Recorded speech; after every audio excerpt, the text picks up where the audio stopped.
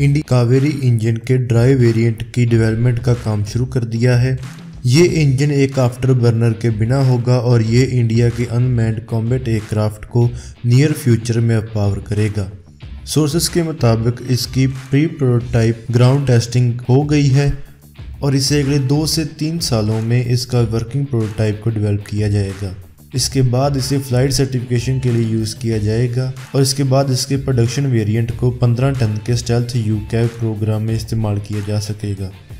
नए इंजन में 50 K N class का ड्राई थ्रस्ट होगा बिना किसी आफ्टर बर्निंग सेक्शन के और इसमें एक flat low heat nozzle exhaust होगा। डीआरडीओ कम से कम कावेरी इंजन के तीन से चार ड्राई डेरिवेटिव बनाने जा रही है। ताकि इसकी फ़्लाइट टेस्टिंग से पहले इसके फुल स्पेक्ट्रम ग्राउंड टेस्ट कर लिए जाएँ।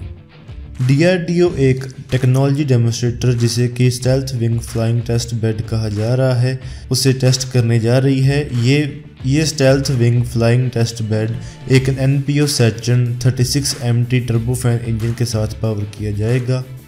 इसकी टेस्टिंग के साथ इसके डिज़ाइन के फ़्लाइट डायनामिक्स के ऊपर डाटा कलेक्ट किया जाएगा। और ताकि इसमें फर्दर इम्प्रूवमेंट्स की जा सकें। डीआरडीओ को जू कैब और एएमसी फाइटर जेट प्रोग्राम्स के लिए सीड मनी मिल गई है। इस मनी का इस्तेमाल रिसर्च वर्क्स के लिए किया जाएगा, लेकिन दोनों प्रोग्राम्स को अभी फ़ेज़ वन मनी नहीं मिली है और ऐसा लग रहा है कि इस साल इस मनी को रिलीज़ कर दिया जाएगा।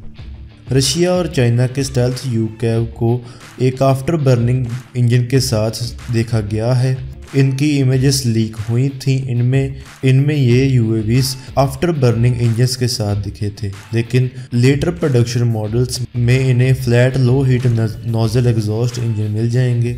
अगर इंडिया के यू कैब को 2020 में अप्रूव कर दिया जाता है तो इसकी फ़र्स्ट फ़्लाइट 2027-28 तक हो जाएगी और ये अपनी प्रोडक्शन में 2033 तक एंटर हो जाएगा। तो दोस्तों, आज की इस वीडियो में इतना ही। Please like share and subscribe अगर आपको ये वीडियो अच्छी लगे तो आप इसको ज़रूर लाइक और शेयर करें। थैंक्स फॉर वॉचिंग इस वीडियो जय हिंद, वंदे मातरम।